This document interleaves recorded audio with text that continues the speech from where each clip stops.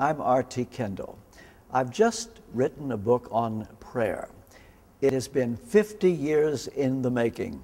It's been an aspiration of mine all my life to write a book on prayer. We're calling it Did You Think to Pray? I had a head start when it comes to this matter of prayer. My earliest memory of my dad is seeing him on his knees for 30 minutes every day before he went to work. He wasn't a minister, he's a layman.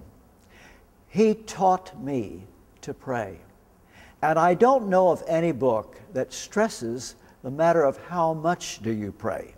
So many books on prayer deal with questions and answers that a lot of people have, but they never get around to the issue of time spent with God.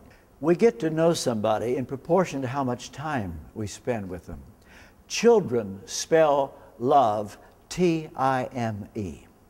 Now, what if God spells love T I M E? I would ask you a question How much do you pray?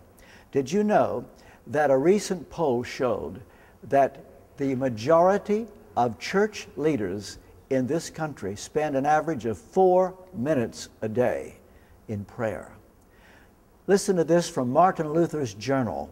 I have a very busy day today, must not spend two hours, but three in prayer. John Wesley would not think of going out into his day without two hours on his knees.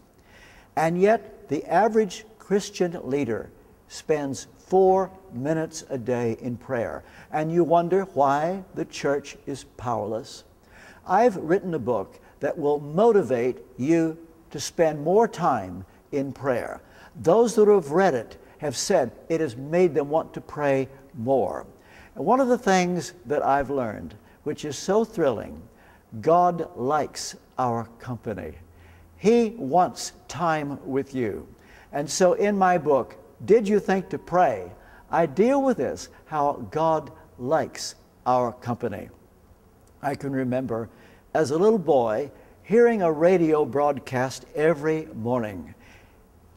A lady came on singing this song Ere you left your room this morning, did you think to pray?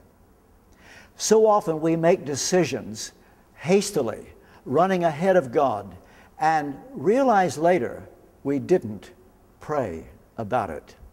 Oh, what peace we often forfeit.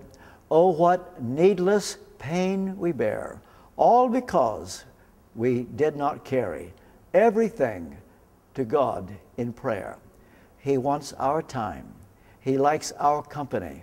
And I can tell you, when we get to heaven and stand before God, we may have many regrets as to how we spent our time. I Promise you one thing you will not regret any amount of time you spent in prayer.